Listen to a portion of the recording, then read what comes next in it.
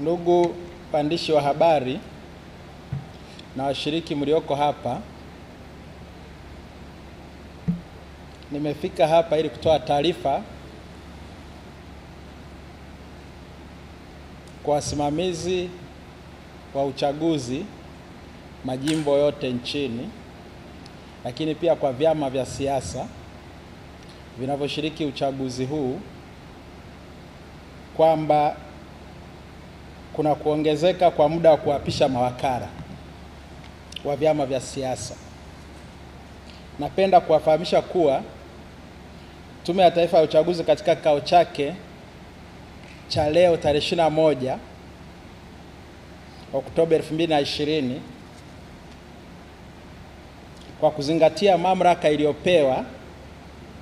katika kifungu cha 57 kifungu kidogo cha pili cha Sheria ya Taifa ya Uchaguzi sura ya 343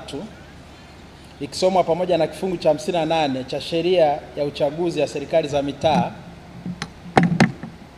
sura 292 imeongeza muda wa kuapisha mawakala wa vyama vya siasa kuanzia leo tarehe 21 hadi tarehe 23 Oktoba. Tume imefikia uamuzi huo kwa kuzingatia kuwa baadhi ya maeneo yana changamoto ya kufikika kwa urahisi kutokana na jiografia, hivyo kuwa vigumu kwa wasimamizi wa uchaguzi kuweza kuwafikia na kuwaapisha mawakala hao kwa mujibu wa sheria. Na kama mnavyojua, uchaguzi wa mwaka huu vyama vyote vyenye usajili wa kudumu, vyama kumi na tisa vinashiriki katika uchaguzi huu, vimesimamisha wagombea udiwani, ubunge na kiti cha rais. Kwa hiyo kuwaapisha mawakala wa vyama kwa mfano kumi na tano na kwa jiografia ya nchi yetu, baada ya kubaini changamoto zilizopo, tume imefikia uamuzi huo wa kuongeza muda. Kwa hiyo zoezi hili litaendelea mpaka tarehe 23, lakini kwa kifungu cha 57 cha sheria ya taifa ya uchaguzi na hicho kifungu cha 58 cha sheria ya uchaguzi serikali za mitaa, ni lazima vyama vipeleke orodha hiyo, na tayari kama vilikuwa wameshafanya hivyo orodha, lakini katika orodha wao wamewapanga wame mawakala katika vituo vya kupigia kura, lakini kifungu kile kinataka kuwe na address ya huyo ambaye anakwenda kusimamia au namba yake ya simu. Kwa hiyo usipoweka address unaweza ukapata shida, lakini tunaviasa vyama vya siasa kupeleka mawakala kwa utaratibu unaokubalika.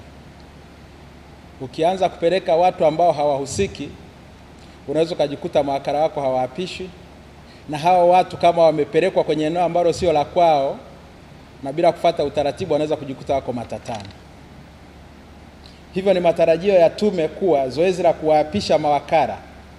wa vyama vya siasa litaendelea kufanyika kwa utaratibu mzuri, ambapo wasimamizi wa uchaguzi watatenga maeneo katika jimbo ambapo anaweza akawafikia kiurahisi hao mawakala na kuweka utaratibu ambao hautaleta usumbufu wa namna yoyote ile. Ni matumaini ya tume kwamba vyama ambavyo vitafata utaratibu kwa mujibu wa kifungu cha 57 na maelekezo kwa vyama vya siasa na wagombea vitapata fursa ya mawakala wao kuapishwa. Asanteni kwa kunisikiliza.